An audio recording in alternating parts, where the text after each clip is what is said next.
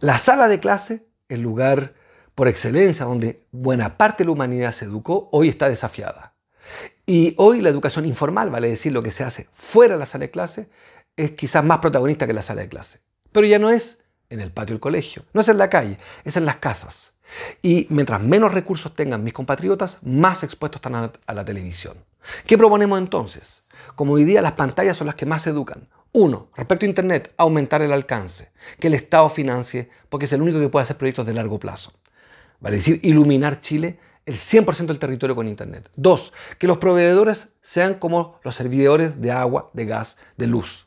Que sean tarifas reguladas, utilidades reguladas, precios regulados. No lo digo yo, lo dijo Naciones Unidas hace muchos años. Internet es un derecho humano. Sobre la televisión, que a mí me fascina, pero que debo confesar hoy me aburre profundamente, con excepciones por supuesto. La televisión educa aunque no quiera, la hace educativa el que ve televisión y a menor ingreso aún más. Y puesto que la televisión ocupa finalmente un derecho que es de todos nosotros, el derecho a circular por el aire. Es nuestra la televisión, tiene que tener deberes. ¿Cuáles? Educar.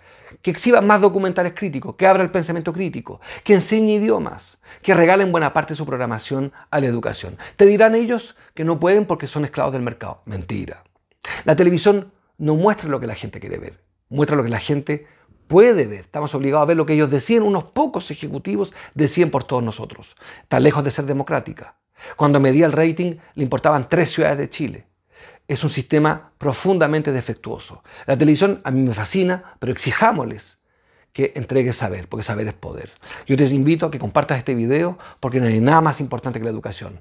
Sin educación no hay salud. Sin educación no hay salud, pero tampoco hay economía. Sin educación no hay vida en común, porque no se trata de vivir mejor, se trata de vivir mejor juntos. Y para eso es la educación.